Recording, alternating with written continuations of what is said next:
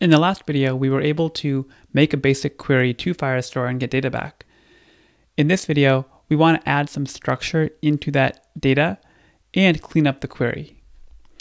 So right now we're getting this data back and we can print out the data using document.data, but it's kind of hard to work with. What we really would like is to define a model class or a data class in Kotlin, which will encapsulate a user and a post.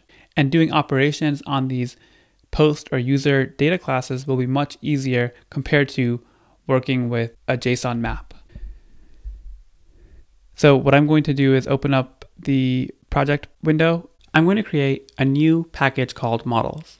And this models package will contain each data class for our application, one for a post model and one for a user model. These are both going to be data classes. And what we're trying to encapsulate is every attribute of a post or a user should belong inside of these classes. And when we get data back from Firestore, or when we're uploading data to Firestore, we should send data in this format. And Firebase will be able to do the translation between the JSON map, which is really what we're dealing with inside the database, and translating that into a post model and a user model. And there are some quirks in how you have to write the data class in order to make sure that the serialization process works. First is that every attribute on the data class has to be a var, not a val, so it has to be mutable. And the other thing is you need to have a default value for every attribute. So you need to, for example, specify this to be an empty string for username. And then the other attribute for user is going to be age and that's going to be of type int. And so the default value here can be zero. Post will be similar. We'll create a data class post. And we want to include an attribute here for everything we know about a post. So we'll have a description. This is of type string and an image URL, also of type string. Creation time milliseconds. This will be of type long. And finally, a user. And this user is referring to the owner of this post, and this is going to be a pointer to the other model that we just defined called user. One more really important point about allowing Firebase to do the serialization and deserialization is that these attribute names must match exactly what the attribute is called in Firebase. So if you look at user, we have username and age, all in lowercase. And if you go back to the Firebase console, go to users, inside the user, we have age and username, all lowercase. So that actually works out. However, in the posts collection, we have creation time milliseconds with underscores in between creation time and milliseconds. Whereas if you go back to the post data class, this is uh, written using camel case, which is a convention in Kotlin. So in order to make that translation happen between the underscore separated and camel case, you have to add an annotation. So we'll say get property name, and you pass in the name of the attribute as it's written inside of the Firebase console.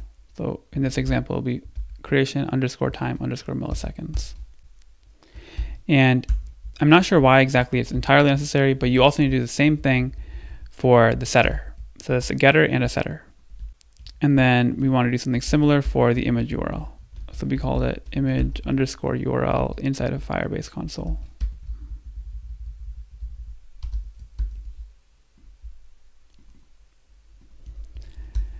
Just make sure that the spelling here is exactly identical to the spelling inside of Firebase console, and then you won't, you shouldn't have any problems with the serialization or deserialization.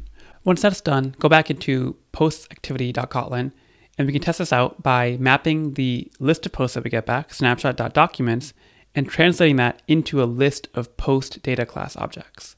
The way we can do that is by saying snapshot.toObjects and passing in the post class reference now let's capture this in a local variable, which we'll call post list. So now instead of iterating through the list of snapshot documents, let's go through the list of posts. And hopefully it should be quite similar to what we were seeing earlier. All right, let's run it and see what happens. So open up Logcat because we don't actually expect any changes in the UI. Okay, so we see a blank screen as we expect.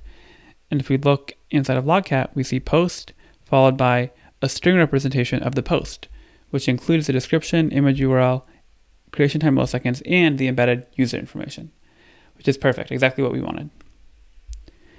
The last thing I want to do in this video is show you some of the other powers of the Firestore querying API. So one pretty natural thing that we'll want to do is limit the number of results we get back. So you can imagine if we have hundreds or thousands of posts, we only want to show a handful of them. The way we can do that is by adding extra conditions while constructing the posts reference. So right now we're looking at all documents inside of firestoredb.collection posts, but we can also add a limit with a number here and just add, pass in 20. And then one other thing we can do is order the posts that we get back by a certain field. And the field that we care about is the creation time milliseconds. And again, you want to make sure that this exactly matches up with the attribute name inside of each post. We'd like to order posts by creation time in a certain direction, which is the second parameter that we can pass in here. We want the most recent posts at the top. Those are the ones which have the highest creation time in milliseconds, which means that the parameter we should pass in here is descending. Let's try it. So right now, let's just look at the order that we got back without running this. So the first one we got back is Golden Gate Bridge, then Hipster Look, then Favorite Panda. If we run this, we should now see the order change because I'm pretty sure that the order I created these in was different. Now we can see that my favorite panda is the most recent post, which makes sense, followed by the Golden Gate Bridge, and then the earliest post that we created was the hipster look. So this may this means this makes sense. The last thing I'd like to do is point out a really cool feature of Firestore. By using Add Snapshot Listener, our app will automatically receive updates when any document in this collection changes. If the details of any post changes, Firebase will automatically call Add Snapshot Listener and we'll get notified of the new data without writing a single line of code. So one thing we can try, I'll just press enter a few times in Logcat and then bring Android Studio to one side Let's update the description for the Golden Gate Bridge post that we have.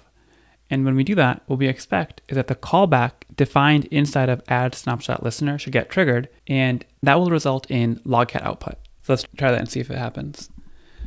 I'll update the description to be lovely views, and then we will update. And you can see almost immediately we get the callback triggered on add snapshot listener the other posts are the same, my favorite panda pic and my hipster look, but the description for the Golden Gate Bridge has been updated as we expect. Now that we're able to complete the query as we desire, our goal for the next video is to take the list of posts and render it in the UI. If you like what we've built so far, please like and share this video, and subscribe so you know when part 7 comes out. See you in the next one.